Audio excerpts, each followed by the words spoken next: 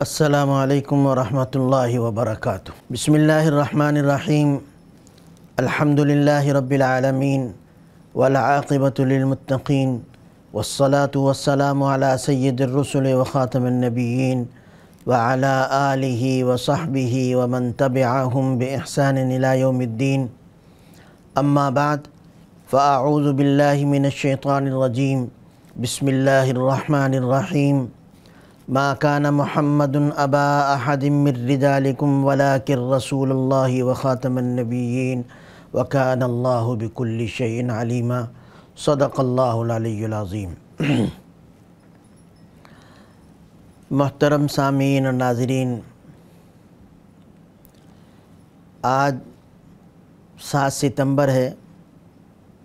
सात सितंबर का दिन हमारी तारीख़ में बहुत अहमियत का हामिल दिन है कि इस दिन हजूर अकरम सल्लल्लाहु अलैहि वसल्लम की इज़्ज़त व नामूस का बोलबाला हुआ। इस दिन हजूर अकरम सल्लल्लाहु अलैहि वसल्लम की ख़त्म नबूवत का तहफ़ुज़ हुआ। इस दिन उन तमाम लोगों का कला कमा किया गया, जिन्होंने हजूर अकरम सल्लल्लाहु की ख़त्म नबूत की दीवार में सुराख करने की कोशिश की और नकब जनी की कोशिश की।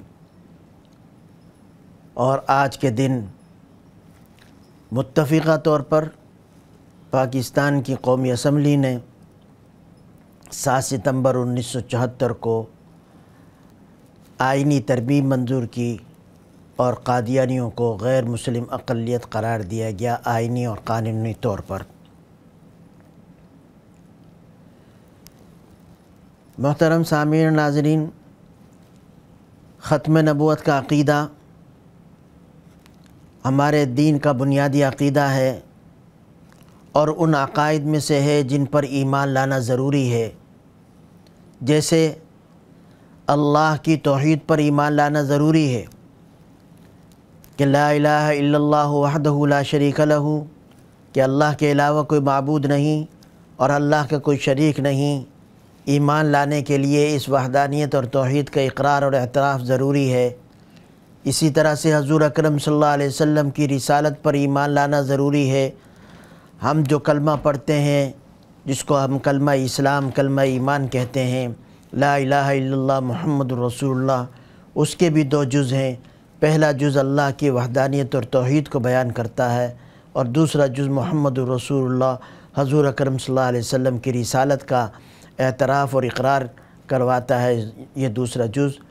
तो जिस तरह से अल्लाह की तोहद को मानना ईमान लाने के लिए ज़रूरी है और मोमिन होने के लिए हजूर अकरम वसल्लम की रिसालत पर ईमान लाना ज़रूरी है, इसी तरह से हजूर अकरम सल्लल्लाहु अलैहि वसल्लम की ख़त्म नबूवत पर ईमान लाना भी ज़रूरी है। और ये ईमान का बुनियादी हिस्सा है उन बुनियादी अकायद में से। इसलिए कि दीन के जितने भी अकायद हैं और दीन की जितनी बुनियादी बातें हैं, जिनको ज़रूरियात दीन कहा जाता है, जिन पर ईमान लाना ज़रूरी है, वो या कुरान करीम से साबित होती साबित हैं या हादीस से साबित हैं, या उन पर उम्मत का इजमा और इत्तिफ़ाक़ हुआ है। ख़त्म नबूत का अक़ीदा ऐसा है कि ये कुरान करीम से भी साबित है, अहादीस से साबित है और इस पर इजमा हुआ है। कुरान करीम सराहत के साथ ज़िक्र करता है, जैसे मैंने आपके सामने आयत पढ़ी माकाना मोहम्मद अबा अहदम रिदालिकुम वला के रसूल व ख़ातमनबीन वकान अल्लाह बिकुल्लिशन अलीमा कि मोहम्मद सल्लल्लाहु अलैहि वसल्लम तुम्हारे मर्दों में से किसी के बाप नहीं, लेकिन वह अल्लाह के रसूल हैं और नबियों के सिलसिले को ख़त्म करने वाले हैं और अल्लाह ताला हर चीज़ को जानते हैं। अल्लाह ताला के इल्म में था कि हजूर अकरम वसल्लम पर सिलसिला रिसालत और नबूवत को ख़त्म करना है और ख़ातमुलनबीन का माना, हजूर अकरम वसल्लम ने अपनी अहादीस में वाज तौर पर बयान फरमाया है हजूर अकम वसल्लम ने फरमाया, अना ख़ातमुलनबीन कि मैं आखिरी नबी हूँ, सिर्फ़ इन अल्फाज पर इतफ़ा नहीं किया, बल्कि उसके बाद कहा, ला नबी यबादी मेरे बाद कोई नबी नहीं। और हजूर अकम वसल्लम ने तमाम उन तावीलात का रास्ता अपने इस कौल मुबारक से, इस शाद मुबारक से बंद कर दिया, जो ख़ातमनबीन के लफ्ज़ में तरह तरह की तावीलात करते हैं। मिर्ज़ाई और क़ादियानी वो भी दावा करते हैं कि हम ख़ातमनबीन को मानते हैं और हम हजूर अकम वसल्लम को ख़ातमनबीन मानते हैं, लेकिन इसके साथ साथ वो इसमें तावील करते हैं कि ख़ातमनबीन का मतलब ये है कि हजूर अक्रम वसल्लम मोहर लगाने वाले हैं। आपकी मोहर से वो कोई और भी नबी बन सकता है। हजूर अकम वसल्लम ने इस तावील का रास्ता बंद कर दिया कि ला नबी आबादी। और वैसे भी, जहाँ इन बुनियादी अकायद और ईमान पर बुनियादी अकायद और ज़रूरियात पर ईमान लाना ज़रूरी है, जो दीन की ज़रूरियात दीन कहलाते हैं, जो ज़रूरत दीन की बुनियादी बातें कहलाती हैं, वहाँ उन बातों को उस तरह से मानना जो कुरान और हदीस में जिस, जो उसका मफहम बयान किया गया है, और पहले दिन से लेकर आज तक उम्मत जो उसका माना मफहम समझती रही है, उस माना मफहम के साथ उस पर ईमान लाना ज़रूरी है। अगर कोई उसमें तावील करके कोई नया माना घड़ता है तो ये कहा जाएगा कि ये इसको इस बुनियादी अक़ीदे को नहीं मानता। जैसे नमाज़ की फ़र्जियत, चूँकि कुरान और हदीस से साबित है, और उम्मत का इस पर तामुल चला आया है, आज तक तो इस बात को मानना कि नमाज़ फ़र्ज़ है और नमाज़ दीन का हिस्सा है, ये हर आदमी के ईमान का हिस्सा है। अगर कोई शख्स नमाज़ का इनकार कर दे। कि नमाज़ दीन का हिस्सा नहीं है तो वो मोमिन नहीं रहेगा। यही हाल ज़क़़त का है। और दूसरे बुनियादी अरकान, कि अगर वो इनका इनकार कर दे कि ये दीन का हिस्सा नहीं है, उनको फ़र्ज़ न माने तो वो शख्स मोमिन नहीं है। इसलिए कि उसने कुरान का इनकार किया, उसने हदीस का इनकार किया, उसने उम्मत के इत्तेफाक और इजमा का इनकार किया।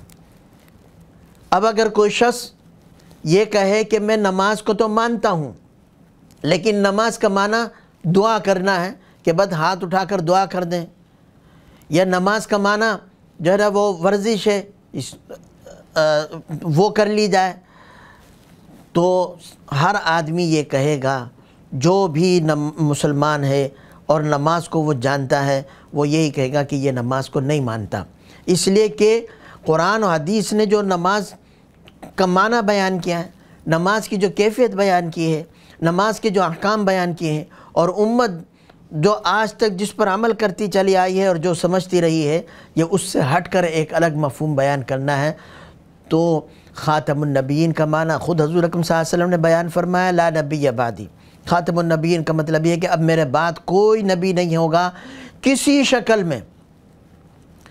ना वो सराहत नबूत का दावा करे, वो भी नबी नहीं होगा। सिल्ली बुरूजी के पर्दे में लपेट कर वो नबूत का दावा करे।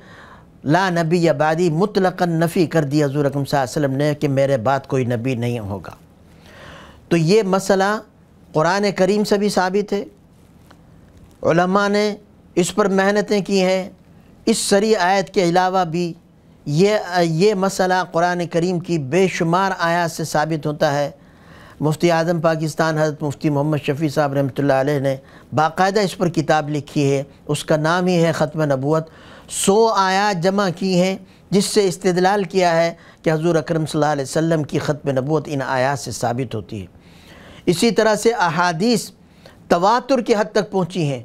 दो सौ अहादीस को हज़रत मुफ्ती साहब ने अपनी इस किताब में जमा किया है और उन अहादीस से साबित किया है कि ये मसला हजूर अकम वसल्लम की ख़त्म नबूत का इन दो सौ अहादीस से साबित। और इस पर उम्मत का इजमा हुआ है, बल्कि ये कहा जाए कि जिन मसाइल पर सबसे पहला इजमा किसी मसले पर अगर हुआ है तो वो ख़त्म नबूत का अकीदा है। हजूर अक्रम सल्लल्लाहु इस दुनिया से पर्दा फरमा गए।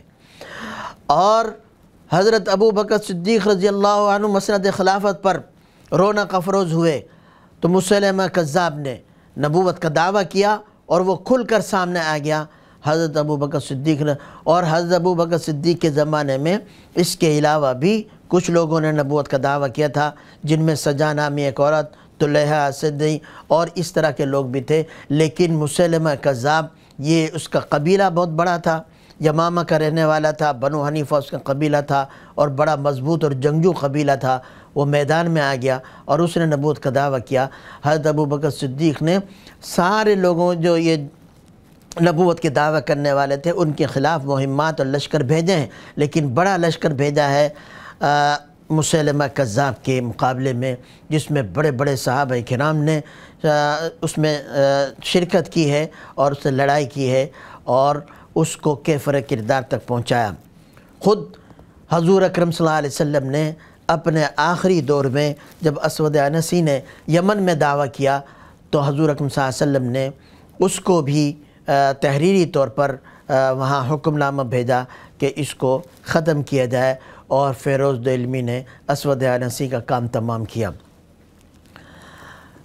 तो हज़रत अबू बकर सिद्दीक़ रज़ी अल्लाह तु ने जब मुसलम कज़ाब के ख़िलाफ़ और दूसरे झूठे मुद्दयान नबूत के ख़िलाफ़ लश्कर भेजे हैं तो किसी एक सहाबी ने भी इस पर कोई एतराज़ नहीं किया, कोई इश्काल नहीं उठाया, कोई मुखालफत नहीं की। इससे मालूम हुआ कि इस पर तमाम सहाबा का इत्तिफ़ाक़ और इजमा हुआ। और सहाब कराम का किसी बात पर इत्तिफ़ाक़ और इजमा कर लेना, ये सबसे मज़बूत इजमा कहलाता है। और इजमा से भी इसी तरह से हुक्म साबित होता है, जैसे कुरान और हदीस और फिर सिर्फ़ यही नहीं कि सहाब कराम के दौर में इस पर इजमा हुआ, बल्कि उस दिन से लेकर आज तक उम्मत मुस्लिमा कभी भी इसमें दो राय का शिकार नहीं हुई कि हजूर अकरम वसल्लम ख़ातमनबीन है। ये उम्मत मुस्लिमा का मुतफ़ा अक़ीदा चला आ रहा है हजूर अकरम वसल्लम के हयात मुबारक से आज तक। और यही वजह है कि जब कभी भी किसी ने, किसी मौके पर, किसी ज़माने में, किसी इलाके में नबूत का दावा किया तो उम्मत मुस्लिमा कभी उस पर खामोश नहीं रही। और उसका कला कमा किया और उसको केफर किरदार तक पहुँचाया। हमें ये तो मिलता है तारीख़ में कि मुख्तलिफ़ लोग आए और मुख्तलिफ़ लोगों ने मुख्तलिफ़ ज़मानों में नबूत का दावा किया। लेकिन कोई एक वाक़ भी नहीं बताया जा सकता पूरी तारीख़ में कि किसी ने नबूत का दावा किया हो और उम्मत मुस्लिमा उस पर खामोश हो गई हो। उस इलाके के लोग और खामोश हो गए हों कि ये इसका अपना ज़ाती मसला है या ये कोई पागल और दीवाना है। इसने ऐसे ही एक बात कह दी। अगर बात कह दी तो क्या हुआ? नहीं। या तो उसको समझाया, मजबूर किया कि तुम वापस इस्लाम के दायरे में आओ और इससे जो है वो तोबा करो, या फिर तुम्हारा मुसलमानों से इस्लाम से कोई ताल्लुक़ नहीं। और उसकी बुनियादी वजह यह है, जैसे मैंने बताया कि ये दीन का बुनियादी अकीदा है, और ये एक ऐसा अकीदा है जिस पर पूरे दीन की बुनियाद कायम, ये दीन की बुनियाद है, पूरी दीन की इमारत इस पर कायम है। अगर यह अकीदा ख़त्म नबूत निकाल दिया जाए दरमियान से तो दीन की इमारत वो मुनहदम हो जाएगी, वो गिर जाएगी। दीन बाकी नहीं रहेगा, कुरान बाकी नहीं रहेगा, दीन के अहकाम बाकी नहीं रहेंगे। इसलिए कि अगर बफ़र्ज़ महाल ये तस्लीम कर लिया जाए, कि हजूर अकम वसल्लम के बाद कोई नबी आ सकता है तो जो भी नबी आएगा उस नबी को यह हक़ हासिल होगा कि किसी हुक्म को मनसूख कर दे, कुरान की किसी आयत को मनसूख कर दे, किसी हिस्से को मनसूख कर दे, पूरे कुरान करीम को मनसूख कर दे। उसकी जगह पर कोई नई वही लेकर आए, नए अहकाम लेकर आए। वो ये, उसको ये इख्तियार हो सकता है कि इस्लाम में पाँच नमाज़ें फ़र्ज़ हैं, अब सिर्फ़ तीन नमाज़ें पढ़ो, दो नमाज़ें पढ़ो, या नमाज़ की जगह पर यह हुक्म आ गया, ज़क़़त को मनसूख कर सकता है। दूसरे अहकाम मनसूख कर सकता है, नबी को यह हक़ होता है। नबी के अलावा किसी को यह हक़ नहीं होता।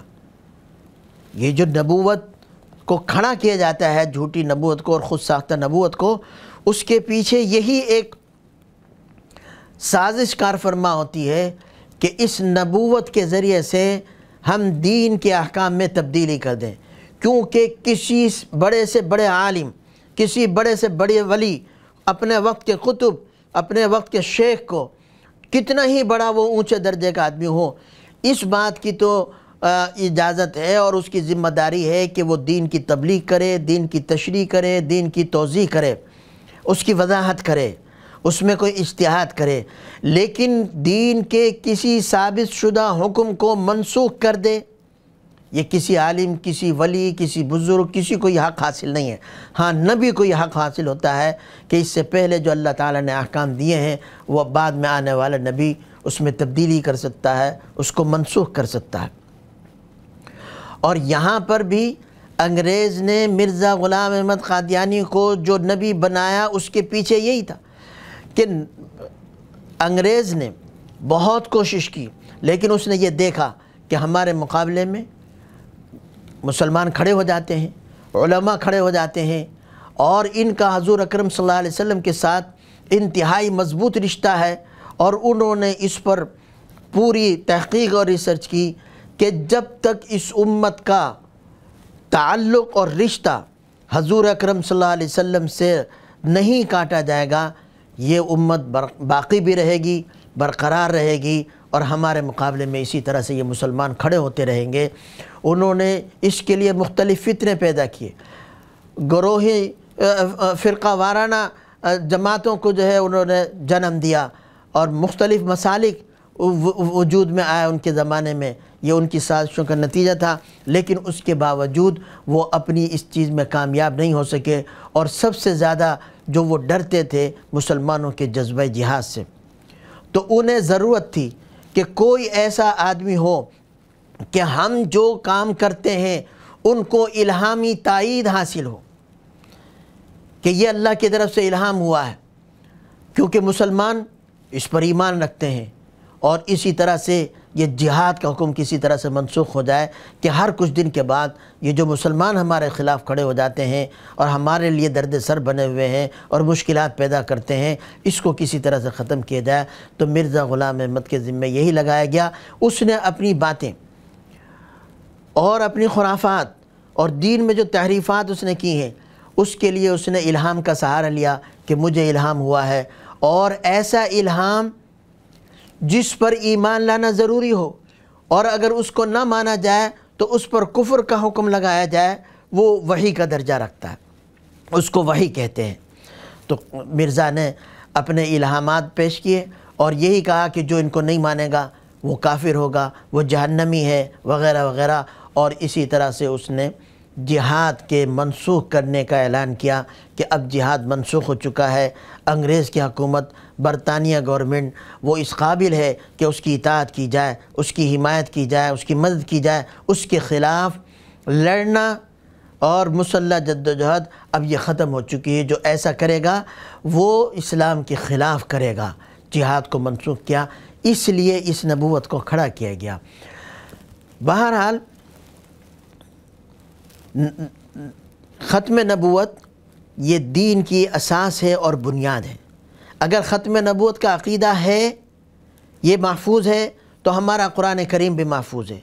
ख़त्म नबूत का अकीदा महफूज है तो हमारी नमाज़ महफूज है, हमारी ज़क़़त महफूज है, हमारा हज महफूज है, हमारा रोज़ा महफूज है, हमारे दीन के तमाम अहकाम महफूज है। अगर ख़त्म नबूत को बीच से निकाल दिया जाए तो कुरान भी अपनी असली शक्ल में बाकी नहीं रहेगा, दीन के तमाम अहकाम अपनी असल शक्ल में बाकी नहीं रहेंगे, इसलिए कि आने वाले नबी को यह हक़ होगा कि वो उसमें तब्दीली कर दे। और सबसे बढ़कर ये बात कि अगर बफ़र्ज़ महाल हजूर अक्रम वसल्लम के बाद किसी नबूवत को तस्लीम कर लिया जाए तो उसका नतीजा ये निकलेगा। लोग समझ, समझते नहीं हैं। वो इस कादियानियत को भी दीगर जो अकायद की गुमराहियाँ हैं, उसकी तरह एक गुमराही समझते हैं, लेकिन नहीं, इसके बहुत दूर रस असरात हैं। अगर नबूवत को तस्लीम कर लिया जाए तो उससे लाजिम ये आएगा कि अब नजात का मदार उस नबी को मानना है। आज तक हम इस बात पर ईमान रखते हैं कि कुरान करीम को मानना ये नजात का सबब है। हजूर अकम वसल्लम पर ईमान रखना ये नजात का सबब है। दीन पर चलना ये नजात का सबब है। लेकिन जब नई नबूवत को तस्लीम कर लिया जाए तो फिर हजूर अकम वसल्लम पर ईमान लाना काफ़ी नहीं होगा नजात के लिए। कुरान करीम को मानना काफ़ी नहीं होगा नजात के लिए। दीन के तमाम अहकाम को मानना और उन पर अमल करना यह नजात के लिए काफ़ी नहीं होगा, बल्कि इस नए नबू, नबी पर ईमान लाना भी ज़रूरी होगा नजात के लिए। और उसके ऊपर जो कोई वही या इल्हाम आते हैं, उनको मानना भी ज़रूरी होगा नजात के लिए। इसलिए कि जिस ज़माने में जो नबी आता है वो पहले अम्बिया की तस्दीक करता है तो पहले अम्बिया को भी मानना ज़रूरी है और उस नबी को भी मानना ज़रूरी है। अगर उस नबी को नहीं माना जाएगा तो नजात नहीं होगी। हम जो हजूर अक्रम वसल्लम पर ईमान रखते हैं, इससे पहले तमाम अम्बिया पर ईमान रखते हैं। हद ईसा आसमाम को भी मानते हैं, हद मूसा आसमाम को भी मानते हैं और जितने भी अम्बिया उन सब पर ईमान रखते हैं। अगर हम उन पर ईमान नहीं रखेंगे तो हम मुसलमान नहीं हैं। लेकिन उसके साथ साथ हमें हजूर अकम वसल्लम पर भी ईमान रखना होगा जभी हम नजात पा सकेंगे। हजूर अकम वसल्लम के तशरीफ़ लाने के बाद तमाम अम्बिया के साथ हजूर अकम वसल्लम पर ईमान लाना ज़रूरी है। और यही वजह है कि ईसाई तमाम अम्बिया को मानते हैं ईसा आसमाम को। और उससे पहले अम्बिया को। हद मूसा आसमाम को भी वो मानते हैं। लेकिन चूँकि हजूर अकम पर ईमान नहीं रखते तो वो मुसलमान नहीं हैं। यहूदी हद मूसा आसमाम पर और उनकी किताब तौरात पर ईमान रखते हैं, लेकिन वो बाद में आने वाले नबी पर ईमान नहीं रखते। न ईसा आसमाम को मानते हैं, न हजूर अकम को मानते हैं तो वो मुसलमान नहीं हैं। तो इसी तरह से अगर तस्लीम कर लिया जाए बफ़र्द महाल कि आपके बाद कोई नबी आ सकता है आप सल्लल्लाहु अलैहि वसल्लम के बाद तो उस पर ईमान लाना ज़रूरी होगा, वरना आदमी की नजात नहीं होगी। तो ख़ुद अंदाज़ा लगाइए कि इस हजूर रकम वसल्लम के बाद नबूवत को मानना, इसके कितने दूर रस नतज और कितने ख़तरनाक नतज जो है वो बरामद होते हैं। हम मुसलमान ही नहीं रहते। और यही वजह है कि ये मिर्ज़ाई, कादियानी ख़ुद मिर्ज़ा ग़ुलाम अहमद कादियानी और उनके बेटों ने जो बाद में उनके खलीफा हुए, उन्होंने सराहत के साथ लिखा, जो हजूर अक्रम जो ईसा को मानता है हजूर अक्रम वसल्लम को नहीं मानता, जिस तरह से वो काफिर है, इसी तरह से जो हजूर अक्रम वसल्लम को मानता है और मिर्ज़ा ग़ुलाम अहमद कादियानी को नबी नहीं मानता, वो काफिर है, दायर इस्लाम से खारिज है, वो जहन्नमी है। और इस तरह के उन्होंने अलकाबाद उन लोगों के लिए रखे हैं जो मिर्ज़ा ग़ुलाम अहमद कादियानी को नहीं मानते। तो मेरे भाइयों, ये ख़त्म नबूत का अकीदा, ये बुनियादी अकीदा। उम्मत मुसलिमा ने हमेशा इसकी हिफाजत की है और जब कभी किसी ने नबूत का दावा किया, उम्मत मुसलिमा उसके ख़िलाफ़ सफ़ आरा हुई है। उन्नीसवीं सदी ईस्वी में मिर्ज़ा ग़ुलाम अहमद कादियानी का फितना हिंदुस्तान में उस वक्त बर्र सग़ीर पाक हिंद था पाकिस्तान और हिंदुस्तान अलग अलग नहीं हुए थे। उसमें यह फितना पैदा हुआ। अंग्रेज़ ने इसकी सरपरस्ती की। मैं उसकी तफसीत में नहीं जाऊँगा और इसने अजीब व गरीब दावे किए। पहले मुहदस होने का, फिर मुलहम होने का, फिर मेहदी होने का मुजद होने का दावा किया, फिर मेहदी होने का, फिर मसीह मऊद का और आखिर में उसने नबी होने का दावा किया। ये उसके दावे हैं। और उसके बाद उसने सराहतन ये कहा कि जो मुझ पर ईमान नहीं लाता, वो जहन्नमी है, काफिर है, दायरा इस्लाम से खारिज।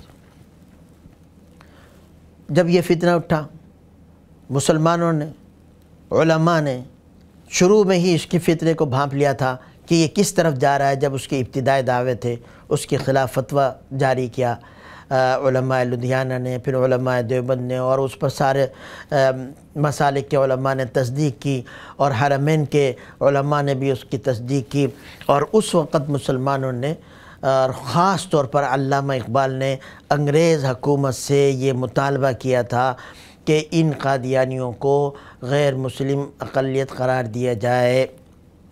इनका इस्लाम से ताल्लुक़ नहीं और अल्लामा इकबाल ने साफ़ तौर पर अपने खतूत में और अपने खुतबात में इस बात का इजहार किया कि ख़त्म नबूवत हजूर अक्रम अलैहि के बाद किसी तरह की नबूवत का दावा या इस तरह का इल्हाम का दावा करना जिस पर ईमान लाना ज़रूरी हो और जिसको ना मानना कुफर हो, ये ख़त्म ख़त्मियत के दीवार में सुराख करना है।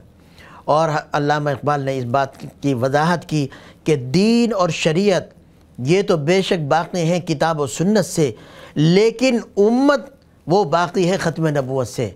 अगर ख़त्म नबूत ख़त्म हो जाए तो उम्मत का उम्मत पना ख़त्म हो जाएगा। क्योंकि उसके बाद तो फिर कई कई उम्मतें पैदा होंगी, उम्मतें जन्म लेंगी। इसलिए अल्लाह इकबाल ने सबसे पहले मुतालबा किया था, लेकिन अंग्रेज़ हुकूमत जिसने इसको खड़ा किया था और जो इसकी सरपरस्ती करती थी, वो इस मुतालबे को कैसे तस्लीम कर सकती थी? बहरहाल पाकिस्तान बन गया। कादियानी पाकिस्तान में आ गए। उन्होंने रबवा एक जगह लेकर उसको रबवा के नाम से आबाद किया और बाकायदा अपनी स्टेट बना ली। और उस वक़्त पहला पाकिस्तान का खारजा बदकस्मती थे।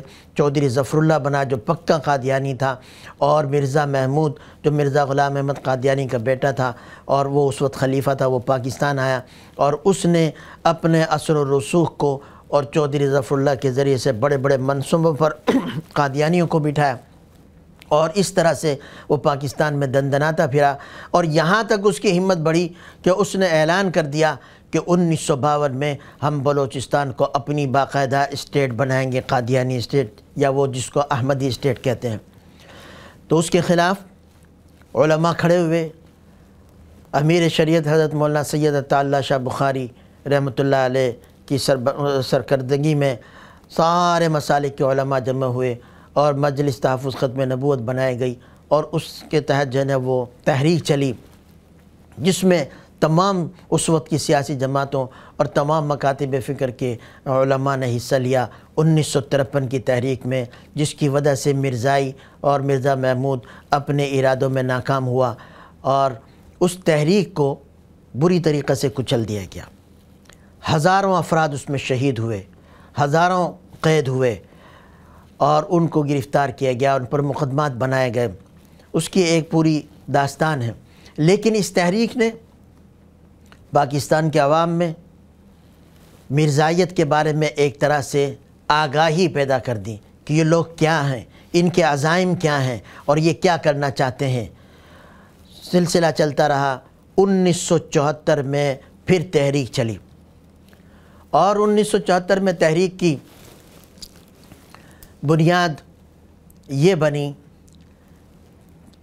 मुल्तान में नश्तर मेडिकल कॉलेज है, उनके तलबा की जो यूनियन होती है, उनके इंतखबात हुए।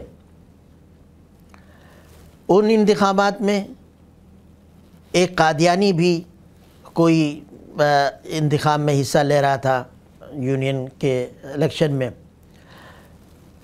मजलिस तहफ़ ख़त्म नबूत को उसका पता चला उन्होंने आयना पम्फलेट नामी एक जो है आयना कादियानित के नाम से एक पम्फलेट तैयार किया, वो तमाम तलबा में तकसीम किया और उनको बताया, समझाया, खैर, तलबा जीत गए वो कादियानी भी नाकाम हुआ। इन तलबा ने इलेक्शन जीतने की खुशी में मनसूबा बनाया, प्रोग्राम बनाया कि हम सैर तफरी के लिए जाते हैं और पिशावर उन्होंने जाने का प्रोग्राम बनाया। स्टेशन गए खैबर मेल से वो बुक करा अपनी बुकिंग कराना चाहते थे, उसमें सीट नहीं मिली। चनाब एक्सप्रेस जो है वो वहाँ से रवाना होती थी। उसमें उनको सीट मिली, एक बोगी उन्होंने अपने बुक करा ली और वो रवाना हुए। चनाब एक्सप्रेस ये रवा, सरगोदा, फैसलाबाद, इस रास्ते से होकर जो है वो पिशावर जाती थी। रवा स्टेशन पर 22 मई को ये ट्रेन पहुँची। तो रवा जो कादियानियों की स्टेट थी, वहाँ कोई आ जा नहीं सकता था। उनकी इजाज़त के बग़ैर सारे लोग वही मुतनात तयनत थे उसमें। उनके अपने फ़ैसले होते थे और जो भी कोई बस या ट्रेन अड्डे पर आती, वहाँ पर या स्टेशन पर आती, उसमें वो अपना लिटरेचर तकसीम करते थे। तो इसमें भी उन्होंने लिटरेचर तकसीम किया, इन तलबा में भी तकसीम किया। ये तलबा पहले से मिर्ज़ाइयों और कादियानियों के बारे में आगाही हासिल कर चुके थे उस इलेक्शन के ज़माने में तो इनकी दीनी अहमियत फड़क उठी और उन्होंने वहाँ पर उन लोगों से बहस मुबासा किया तूतकार हुई और कुछ नारेबाजी भी हुई। बहरहाल, ट्रेन तो चली गई, लेकिन कादियानियों को बड़ा इस पर दुख और रंज हुआ कि हमारी स्टेट में, हमारे इलाके में आकर कोई हमारे ख़िलाफ़ कैसे बात कर सकता है? उनको ये बात बर्दाश्त नहीं हुई। उन्होंने इनकी मालूम ली। ये आने जाने की सीट बुक करा चुके थे तो मालूम हुई कि उनतीस मई को ये वापस आएँगे और इसी रास्ते से गुजरेंगे, इसी ट्रेन से। तो रवा से पहले जो स्टेशन आते थे, वहाँ पर जो कादियानी थे तो जहाँ जहाँ ट्रेन रुकती थी, वो बस, वो उस ट्रेन में सवार होते चले गए। जब ये रवा स्टेशन पर पहुँची ट्रेन तो उसको रुकवा लिया गया। हालाँकि वहाँ वो बमुश्किल एक मिनट का उसका स्टाप था और पहले से उसमें कादियानी सवार हो चुके थे और रबवा स्टेशन पर वो कादियानी सवार हुए और इन तलबा को उन्होंने बुरी तरीके से मारा पीटा। लोहे के राड से और जने क्या हुआ हैंटर से और उनके हाथ में लोहे के पंच थे। खूब इनको मारा पीटा, ज़ख्मी कर दिया। चूँकि ट्रेन काफ़ी देर रुकी रही तो फैसलाबाद स्टेशन जो मास्टर था, उसने मालूम की कि भाई, ट्रेन अब तक क्यों नहीं पहुँची, क्यों वहाँ रुकी हुई है? तो मालूम हुआ कि फसाद हुआ। उसने वहाँ पर मकामी आलिम थे, मौलाना ताज महमूद साहब, जो इत्तेफाक से रेलवे की मस्जिद में इमाम थे, उनको इत्तला दी और वो था भी जुम्मे का दिन।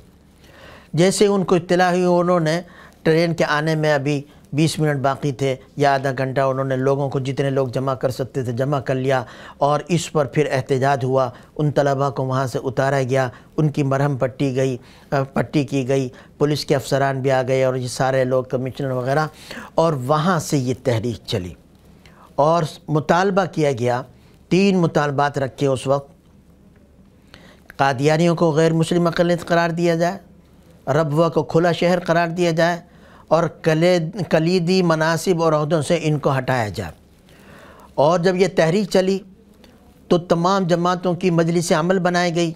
उसका सरबरा बनाया गया हज़रत मौलाना सैयद मोहम्मद यूसुफ बिनौरी रहमत को। वो पहले भी मजलिस तहफ़ ख़त्म नबूत के अमीर थे, मजलिस अमल का भी उनको अमीर बनाया गया और इस तरह से ये तहरीक चली और उस वक़्त उन्होंने, मुसलमानों ने ये मजलिस अमल ने यह फ़ैसला किया कि कादियानियों का माशी और सोशल बाइकाट किया जाए। ये एक बहुत बड़ा हथियार था जो उनके ख़िलाफ़ इस्तेमाल हुआ। पूरी कोशिश हुई कि तहरीक पुरान रहे, कहीं कोई तशद के रास्ते पर यह ना जाए। बड़ी हमत से उनके उस वक्त के जो रहनुमायान कौम थे और लीडरान थे जो इस तहरीक की क़्यादत कर रहे थे, उन्होंने हर मौके पर इसकी कोशिश की कि ये तहरीक पुरमन रहे। बहरहाल, उनतीस मई से ये तहरीक चली और ये मुतालबा ज़ोर पकड़ता गया कि कादियानियों को गैर मुस्लिम अकलीत करार दिया जाए। उस वक्त के वज़ी अजम जुल्फ़ार अली भुट्टो ने तकरीर की तेरह जून या चौदह जून को, और ये कहा कि ये बहुत पुराना मसला है नबे साल पुराना मसला है, एकदम से कैसे हल हो सकता है। सोलह जून को हड़ताल हुई पूरे पाकिस्तान में, जिसकी नज़ीर जो है वो नहीं मिलती। बहरहाल ये तहरीक चलती रही। वज़ी अजम जुल्फ़ार अली भुट्टो, वो बहुत समझदार, होशियार और अवामी लीडर थे। उन्होंने अवामी मुतालबे पर यह मुनासिब समझा कि इसका इस तरह से हल निकाला जाए जो सब के लिए काबिल कबूल हो और बैरी दुन, बैरूनी दुनिया भी उसको कबूल करे और उनको भी कोई एतराज़ का मौका ना मिले। तो उन्होंने ये मसला कौमी असम्बली के हवाले कर दिया। जून के आखिर में यह ऐलान किया कि कौमी असम्बली इस मसले को देखेगी इस पर गौर करेगी और इस पर बहस मुबाजा करके अपनी सिफारिशात पेश करेगी।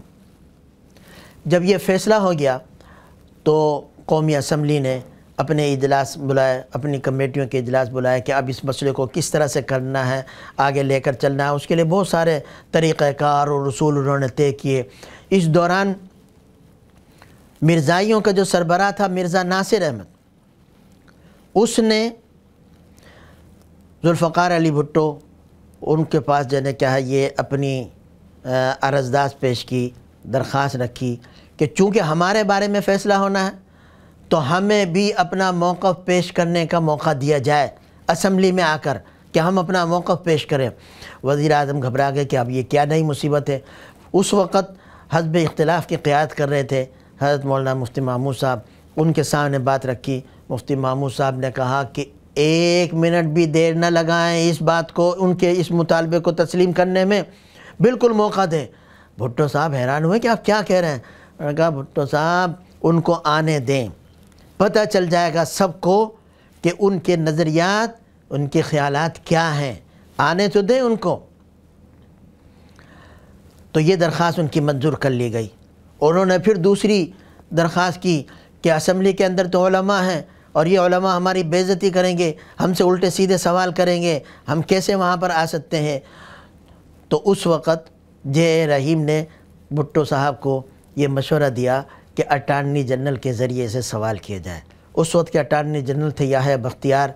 ये बात भी मंजूर हो गई।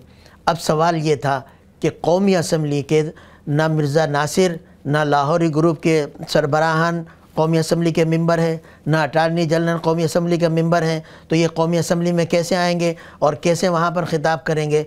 तो पूरी कौमी असम्बली को खसूस कमेटी का दर्जा दिया गया कि उस वक़्त दीगर तमाम रूल और मामला जो है वो अलहदा रहेंगे और ये खसूस कमेटी अपने इजलास करके सिर्फ़ इस मसले पर गौर करेगी।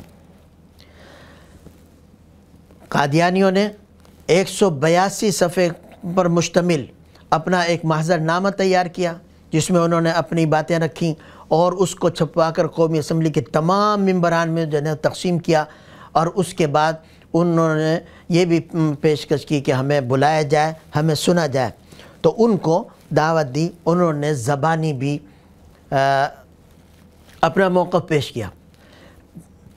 ग्यारह दिन बहस हुई है पाँच अगस्त से ग्यारह अगस्त तक पाँच दिन और उसके बाद वो बीच में कुछ वक्फ़ा हुआ और छः दिन आ, पूरे ग्यारह दिन मिर्ज़ा नासिर पर बहस हुई जरा हुई सवाल जवाब हुए उसने अपना मौक़ पेश किया उसकी बात सुनी गई और अटारनी जनरल ने पूरा पूरा मौका दिया उनको बात करने का अपना मौक़ पेश करने का।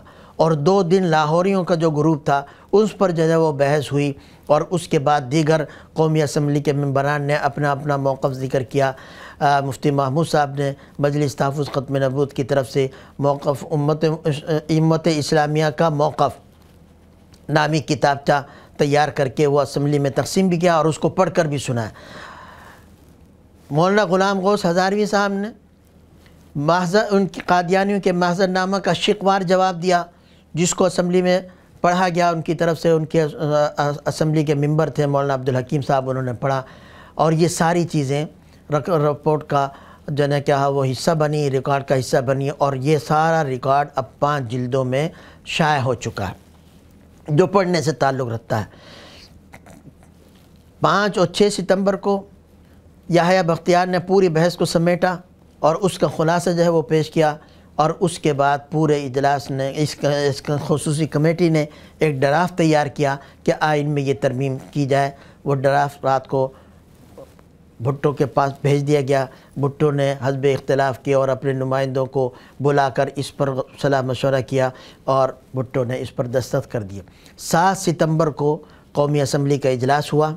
खसूस कमेटी की वो सिफारिश, व आइनी तरमीमी बिल पेश किया गया।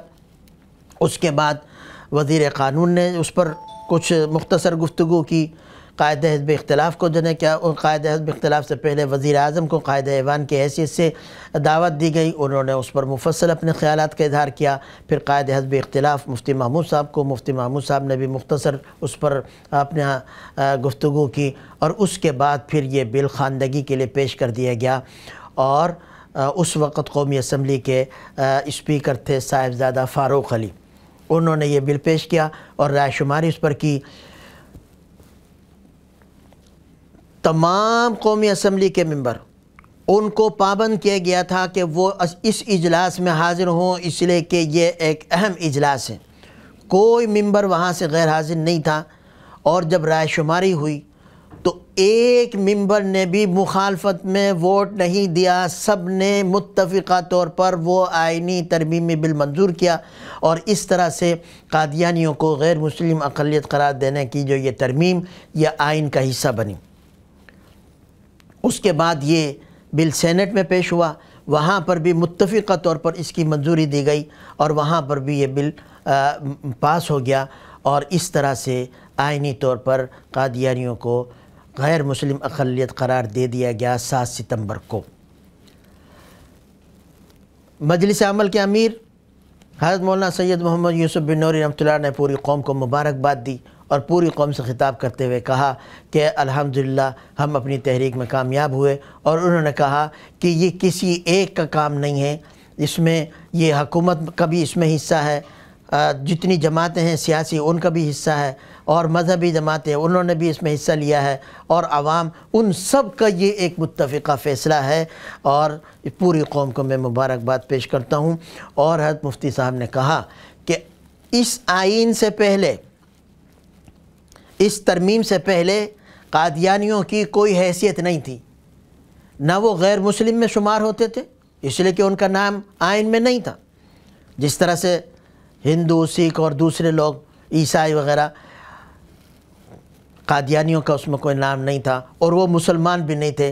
ना गैर मुस्लिम अकलीतों में शुमार होता था, ना मुसलमानों में इस आइनी तरमीम ने उनको एक दस्तूरी हैसियत दे दी, एक आइनी कानूनी हैसियत दे दी। अब वो गैर मुस्लिम अकलीत की हैसियत से इस पाकिस्तान में रह सकते हैं। उनकी जान, माल, इज़्ज़त का तहफ़ हुकूमत की ज़िम्मेदारी होगी, अगर वो इसको तस्लीम कर लेते हैं और ज़िम्मी बनकर यहाँ पर रहते हैं। बल्कि ये कहा कि अगर कोई उनकी जान माल के दर पे होता है, उनकी इज़्ज़त के दर पे होता है। तो ये सख्त गुनाह है, क्योंकि हदीस में एक ज़िम्मी की जान माल, इज़्ज़त की आबरू की हिफाजत का बहुत ज़्यादा अहमियत के साथ बयान किया गया है। हज़रत बिन्नूरी साहब रहमत ने बाकायदा उनको दावत दी कि इस इस आइनी तरमीम को वो तस्लीम करें। और अपनी ज़िम्मेदार, ज़िम्मी की हैसियत से वो इस मुल्क में रहें और उनको तमाम वो हकूक़ हासिल होंगे। वो अपने मज़हब पर अमल कर सकते हैं और वो सब कुछ कर सकते हैं। उनको कानूनी तौर पर अब इंतबात में हिस्सा लेने की भी गैर मुस्लिम अकलीत की हैसियत से अपना वोट वोट वोटर लिस्ट में अपना इंदराज करा सकते हैं। इस पर इंतखब लड़ सकते हैं। ये उनको एक कानूनी हैसियत दी गई। लेकिन अफसोस है कि कादियानी ने आज तक ना इस आइन को माना है ना इस आइनी तरमीम को माना, और ना अपनी इस कानूनी हैसियत को तस्लीम किया। वो आज भी इस बात पर मुसर है और बरमला कहते हैं कि हम इस आइन को नहीं मानते और कहते हैं कि इस आइन को हम कैसे तस्लीम कर ले, जिसने हमारी नफ़ी की है। हालाँकि यह आइन नफ़ी नहीं कर रहा, उनको उसने एक कानूनी हैसियत दी है। उनकी एक कानूनी हैसियत हो गई। अगर वो समझें और इस पर आ, वो तस्लीम कर लें और अपने आप को गैर मुस्लिम अकलीत करार दे दें। तस्लीम कर लें। तो जो हकूक़ गैर मुस्लिम अकलीतों के पाकिस्तान में हैं वो तमाम हकूक़ इनको भी हासिल हैं। लेकिन ये आइन की खिलाफ वर्जी करते हैं आइन से गद्दारी करते हैं और आज भी ये अपने आप को मुसलमान कहते हैं और तमाम मुसलमानों को काफिर कहते हैं। और आलमी बिरादरी उस पर भी हैरत और ताज्जुब है कि एक तरफ़ ये दस्तूरी और आइनी फ़ैसला है और बाद में भी पार्लियामेंट ने इसकी बार बार तोसीक की है। उसके बाद ये अदालतों में गए हैं कि हमारी हकूक़ की खिलाफ वर्जी हुई, लेकिन तमाम अदालतों में, चाहे वो हाई कोर्ट हो पाकिस्तान के, सुप्रीम कोर्ट हो, शरीयत बेंच हो, शरीयत अपेलेट बेंच हो उन सब में ये गए हैं, सबने इनके बारे में यही कहा कि तुम्हारा मुसलमानों से और इस्लाम से कोई ताल्लुक़ नहीं, तुम इस्लाम और मुसलमानों से अलग हो, लिहाजा मुसलमानों के जो शायर हैं, उनको तुम इस्तेमाल नहीं कर सकते, अदालतों के फ़ैसले हैं। पूरी दुनिया के जितने दीनी इदारे हैं जो दारुलफ्ता हैं, जो दीन की तशरी करते हैं, उन सबने भी जहाँ जहाँ इनका मसला गया आज तक तो कोई ऐसा इदारा देनी नहीं है जिसने इनके कुफ्र का फतवा न दिया हो और ये फतवा न दिया हो कि ये दायरे इस्लाम से खारिज है। रबता आलम इस्लामी और दूसरे इस तरह के इदारे। तो हैरत है कि एक तरफ़ एक अरब से ज़्यादा मुसलमान उनका मौक़ है और सारी अदालतों का मौक़ है। दस्तूरी तौर पर और पार्लिमानी तौर पर इनके ख़िलाफ़ फ़ैसला है और एक तरफ़ ये चंद लोग हैं और ये ख़ुद अपने आप को मुसलमानों से अलहदा कहते हैं और मुसलमानों को अपने से अलहदा जो है वो कौम करार देते हैं। लेकिन उसके बावजूद मालूम नहीं क्यों ये ख़ुद भी अपने आप को मुसलमानों में घुसाने की और मुसलमान कहलाने पर मुसर हैं और पूरी दुनिया खसूस मगरबी दुनिया और यूरोप और अमेरिका इनको मुसलमानों में घुसाने और मुसलमान कहलाने पर मुसर है।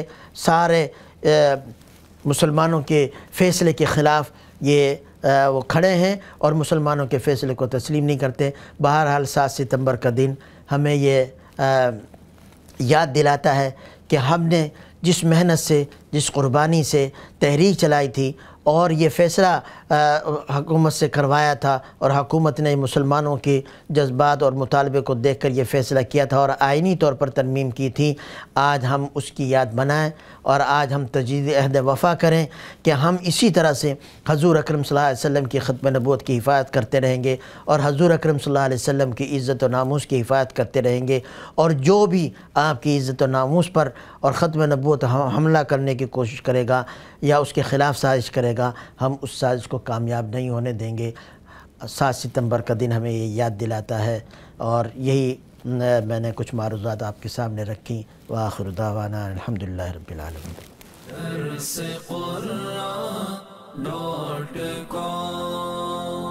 www.dasquran.com